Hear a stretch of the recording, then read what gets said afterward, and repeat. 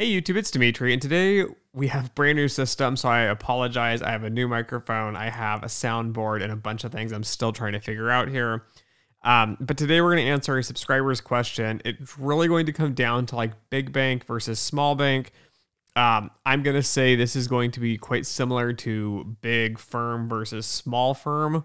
So you're thinking like, what's the difference here?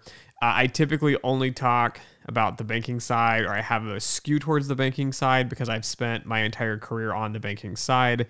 Uh, many people are going to be wondering about this from a perspective of like a hedge fund or an investing firm.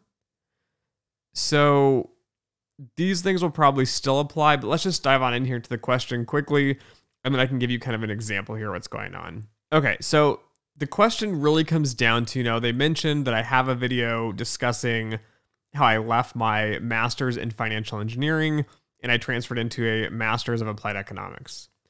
Uh, the reason for me making that jump, that switch, is I didn't like the way the program is structured. Uh, I thought that it went way too fast on the material in the sense that you're not really going to be learning everything kind of from like a first principles kind of build up and really knowing this. Now, part of this is on me academically.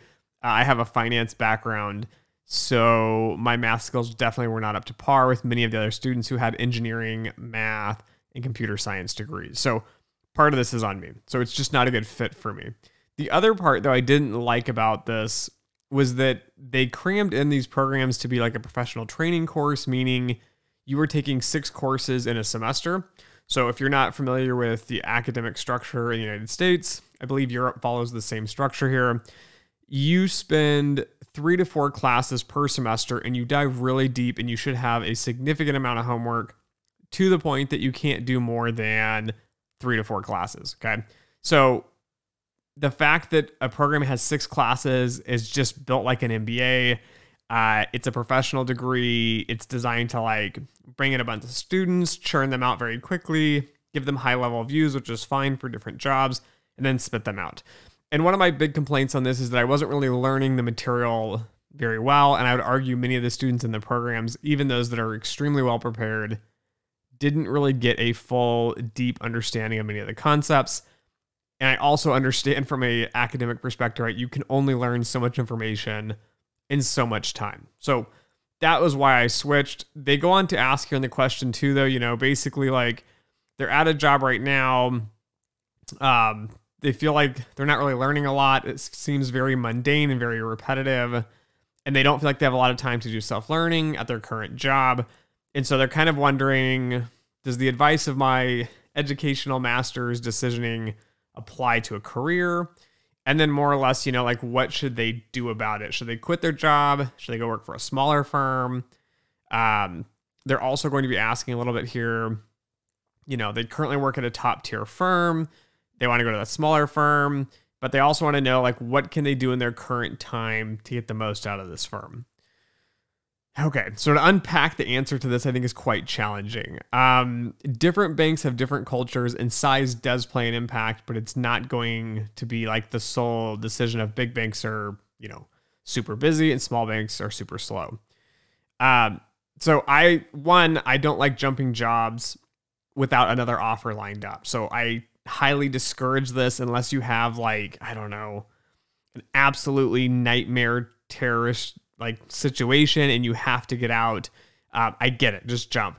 But for most people, right, it's the job's not enjoyable. It's not what you really wanted. I would really consider uh, just start looking for another job and really focus here on this situation on the culture and figuring out like how busy and what the work life balance is going to be like. So most big banks are going to work you pretty hard. So this is a fair assumption on, you know, the question here. Uh, bigger banks, I've avoided some of them because I know the work life balance, I know the structure.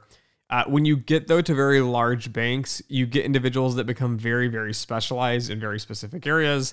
Um, so, for example, if you work even like you think credit risk is like a specialization, uh, they go even further than that. So, you will have like credit risk, but you might be like the automotive expert, or you might be like the mortgage expert.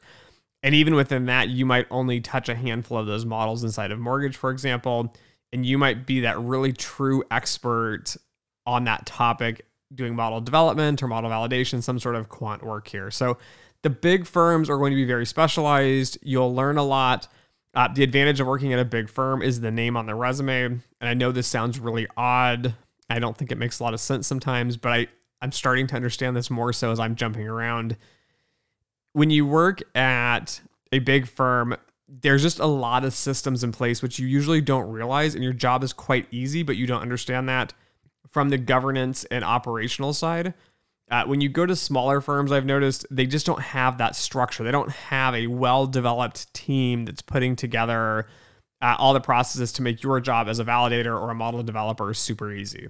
So you're going to have to realize when you go to a smaller firm, you will most likely get better work life balance. Uh, you will have more time to self learn, but at the same time, you're not going to get the exposure to other experts in the field. So typically, large banks have these really specialized super experts in very specific areas. And having that expertise, learning that expertise, being there is very crucial. So while you were there, if you're still there and you're going to be looking for a job, really focus down on what you're doing. So I know it seems mundane. I'm guessing here, I'm just pulling at straws and whatnot, but if you're working, for example, in one very specific area, learn from the colleagues around you, especially those that have been there for 10, 15, 20 years, because they will know a lot more of the nuanced details, which don't seem very exciting. They don't seem very important. And yet, those are going to be the things that make and break like top quants and like generic quants versus people that just work in these industries that don't care. And I wouldn't really consider quants. So, when you're there, make the best of it. Focus on your work. I wouldn't worry about self learning when you're slammed at work um, you'll students will find this out. It's kind of disappointing uh, when you get into the industry and you're a real expert. There's typically not time to do self learning. Like I'm being paid to do X, Y, and Z. They pay me really good money to do it. But that being said, they're going to expect, you know, 40, 50, 60, 70 hours a week. And that's just what it is. Now, again, if the learning part makes you happy, it's a career focus of yours, so I complain internally to myself constantly, like, ah, I just wish I had more time to study. I have textbooks, I'm doing textbooks reviews, I'm doing YouTube, I have a child. Like, when you start getting into the industry, you start to realize there's not a lot of extra time, which is why people that have worked for five, ten years, they look at me and go, Dimitri, you're absolutely crazy. Like, I don't know how you have time to do YouTube, your day job, and then you have a daughter and a wife, and then you're on top of that, you're building a, you know, 28 by 40 garage studio. Like, this doesn't make any sense. And I don't encourage this. Do not work like crazy hours and be like nuts like me because it's not very healthy for you. But if you want to focus on that, again, when you're at the big firm now, get the, the name on the resume. I don't know how long you've been there. I would at least try to get at minimum one year. Uh, if you can get a couple years in, though, it just looks good to have that. And that will always follow you like, oh, you worked at this top tier bank. So that's the benefit. That's what I would do. Just focus on the job. Don't worry about self learning at this point, right? You're you're not going to have a lot of time. Uh, don't overstress yourself out. Now, if you're considering the big bank versus the small bank, or the big firm versus the small firm here, uh, realize every firm is going to be different, but size does matter. Uh, smaller firms, you'll have more freedom, typically more work life balance but at the same time you're going to be lacking a lot of the structure and you'll lack a lot of expertise because people that work there even those that have worked 10 15 20 years if they haven't worked at the big banks or a big firm uh, often they're just missing the expertise. They're missing i don't know the real specialization that you learn from working at these big banks for so many years.